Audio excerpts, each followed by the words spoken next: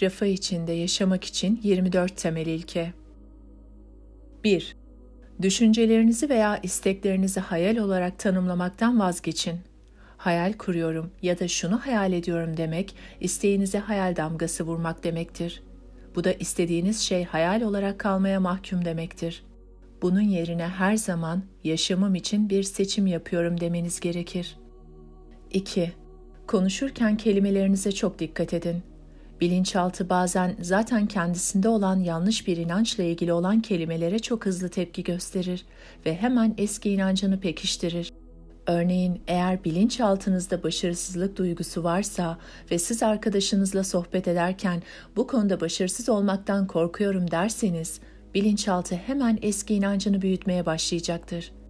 Bu yüzden bu inanç tamamen ortadan kaybolana kadar bundan sonra da elimizden geldiğince kelimelerimize dikkat etmeliyiz. 3. Kelimelerin bir diğer önemi de bilinçaltına mesaj göndermekte etkili olmalarıdır. Bilinçaltına olumsuz mesajlar göndermemek için olumlu kelimeleri kullanmaya çalışmalısınız. Örneğin, ben korkmuyorum derseniz bilinçaltınız buradaki korku kelimesini algılayacak ve korkunuz artacaktır.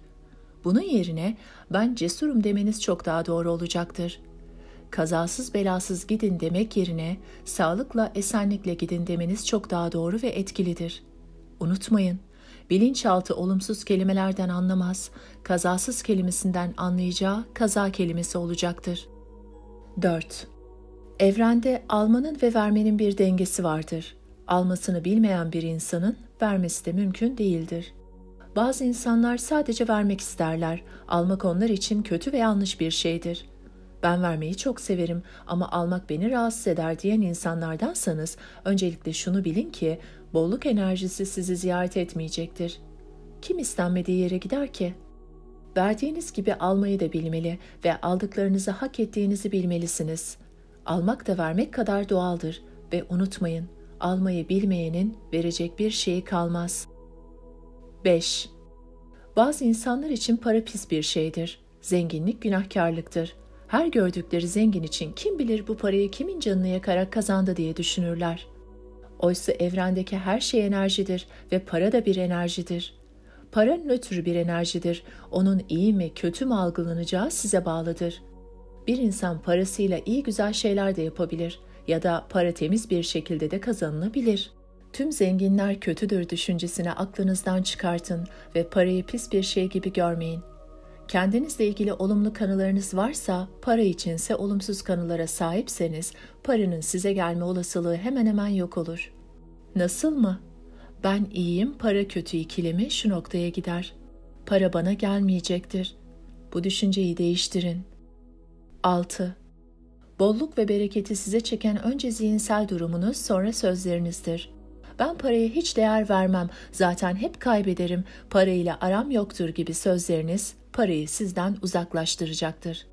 Bilinçaltınızı bu sözlerle programlarsanız, bilinçaltı bu komutları gerçekleştirmek için sadık bir hizmetkar gibi çalışacaktır ve kendi kendini gerçekleyen kehanetiniz ortaya çıkacaktır. 7. İnsanlar genelde bir istekleri olduğu zaman bunu bazı koşullara bağlarlar şu arabayı satsam da ameliyat olsam, falanca gelse de şu işimi halletse, şuraya gitsem de şunu elde etsem gibi. Oysa istekleriniz size birçok farklı yoldan gelebilir. Siz bir yola dikkatinizi ve enerjinizi vererek diğer yolları tıkamış olursunuz. Örneğin ameliyat için arabasını satmak isteyen kişinin gerçekte istemesi gereken şey şifadır. Şifa bir insana birçok yoldan gelebilir. Araba satılmasa da ameliyat olacak para başka bir şekilde gelebilir. Hatta o ameliyatı olmadan bile şifa bulabilir. Oysa kişi dikkat ve enerjisini arabayı satarak şifaya verdiği için diğer yolları kapamış olur. Koşulsuz istemek yasamda amaçlara kavuşmanın temel şartlarından biridir. Şartları, durumu, mantığı bir kenara bırakın. Sadece isteyin. Ne istiyorsanız onu isteyin. Para mı? Aşk mı? İş mi? Her ne istiyorsanız onu. 8. Evren boşluk sevmez ve mutlaka doldurur. Eğer eviniz tıka basa eşya dolu ise ve eşyaları yenilemek istiyorsanız paranızın olmasını beklemeyin. Eşyaları daha en başından atın. Tabii yaşamak için gerekenleri değil. Bir süre sonra yeni eşyalar bir şekilde gelecek. Yeni elbiseler istiyorsanız eskileri fakirlere verin. Eğer yaşamınızda yeterince bolluk ve bereket yoksa bunun için yer açıp açmadığınıza bakın. Yaşamınızda yeniliklere ve bolluğa yer açın ki gelsin. Bunun için önce evde kullanmadığınız eşyalarla, eskimiş elbiselerle, uzun süredir birikmiş ıvır zıvırla başlayın. Siz eskiyi bıraktıkça yeni gelecek. Unutmayın, evren boşluk sevmez. 9. Bir zamanlar bir öğrencim bir ayın kirasını ödeyince diğerini düşünüyorum demişti ve para sorunundan yakınmıştı. Ben de borcunu değil, kazanacaklarını düşün demiştim. Dikkatinizi neye verirseniz onu büyütürsünüz. Borçlara verirseniz borçları, kazançlara verirseniz kazançları. Bu en basit formüllerden biridir. Dikkatinizi kazançlarınıza verin ki onlar büyüsün. Bu öğrencim bu formülü başarıyla uyguladı İşten ayrıldı, serbest çalışmaya başladı. Şimdi meslektaşlarına göre 4-5 kat daha fazla para kazanıyor. Unutmayın, ancak fakir insanlar parayı kafalarına takarlar. 10. Zengin insanların ortak yanları son derece düzenli olmalarıdır. Evleri, ofisleri, arabaları çok temiz ve düzenlidir gerçekten de benzer enerjilerin birbirini çektiği süptil dünyada bolluk enerjisini çekmek için temiz enerji alanına sahip ortamlarda yaşamalısınız. Düzensiz ve pis ortamlarda biriken negatif enerji ancak kıtlık enerjisini kendisine çeker. Bolluk ve bereket için temiz ve düzenli ortamlarda yaşamanız, iş yapmanız gereklidir. Şimdi çekmecelerinizi ve dolaplarınızı düzenleyin. Pis şeyleri temizleyin ve düzenleyin. Zengin olmak istiyorsanız zenginler gibi davranmayı öğrenmelisiniz. 11. Evrende her şey enerjidir. Bir tabak yemekte, son model arabada, eğer yemek bulmak kolay ama araba zor derseniz işleyişi algılamadınız demektir. İstediğiniz araba da olsa, yemek de olsa ikisini de elde etmeniz aynı mekanizma ile çalışır. Oysa yemeği her gün buluyorsunuz. Çünkü bulacağınızı biliyorsunuz. Buna inancınız tam. Oysa son model arabayı bulacağınıza inancınız yok. Eğer doğru şekilde istemeyi bilirseniz yemekte, arabada aynı şekilde size gelecektir. Ancak arabayı da bulacağınıza, yemeği bulacağınız kadar emin olmanız ya da arabayı da açken yemek ister gibi istemeniz gereklidir. Ancak arabayı da bulacağınıza, yemeği bulacağınız kadar emin olmanız gerekir. Ya da arabayı da açken yemek ister gibi istemeniz gereklidir.'' İkisine sahip olmanın en önemli farkı budur. Bu yüzden büyük düşünün ve isteklerinize sınır koymayın. Sonuçta ne isterseniz elde etmenizin koşulları aynıdır. 12. Küçük bahşişler, küçük hediyeler ve arkadaşlarınıza yemek ısmarlamalar. Bunların hepsi aldıklarınızı paylaşmanız için önemlidir. Unutmayın, evrene ne gönderirseniz size on katı geri gelir. Evrene bolluk içinde olduğunuzun mesajını gönderin. Vermeyi bilin ki alasınız. Şükretmeyi ve diğer insanları da düşünmeyi unutmayın. 13. Refah içindeyseniz siz sağlıklı, mutlu, zenginsiniz demektir. Refah bunlardan biri olmadan olmaz. Bu yüzden yaşamınıza bolluk ve bereket isterken aynı anda sağlık ve mutluluk da talep edin. Bunu imgelemelerinizde ve olumlamalarınızda yapabilirsiniz.'' Örneğin evinizi imgeliyorsanız kendinizi ve yakınlarınızı da manzaraya çok sağlıklı, mutlu olarak yerleştirin. Yine olumlamanızın sonuna sağlıklı ve mutluyum ibaresini ekleyebilirsiniz. 14. Siz büyüdükçe bilinciniz gelişir. Bilinciniz geliştikçe kendinize daha çok refah ve bereket çekersiniz. Büyük refahla yaşayan bir insan olmak için gerekli kişisel gelişimi yapmaya istekli olmalısınız. 15 refah için en büyük engellerden biri intikam, dargınlık ve incinme duyguları ile yaşamaktır. Refah bunları taşıyan bir kalpte var olamaz. Bu duyguları yaşamak sadece onları taşıyan insanları üzer ve refah uzaklaştırır. Hayatınızda size kötülük yapan herkesi bağışlamalısınız. Ayrıca kendinizi de bağışlamalısınız ki bolluğu yaşamınıza davet edebilin. Bu konuda öğrencilerime her kime kızgınsanız içinizden sürekli kendi iyiliğim için seni affediyorum deyin ve bunu gerçekten yapın. Çünkü yaptığınız karşınızdakine hoş görmek ya da sizi üzmesine izin vermek değil, onun size yaşattığı kötü duygulardan kurtulmak için kendi iyiliğinizi düşünerek onunla enerji bağınızı kesmektir derim. 16. Yaşamda bir şeye sahip olmayı istediğiniz zaman ben bu arabayı istiyorum demek yerine bu arabaya sahip olmayı seçiyorum demek çok daha doğru bir seçimdir. İstemek hepimizin her an yaptığı ve artık kanıksadığımız, üzerinde fazla durmadığımız bir şeydir.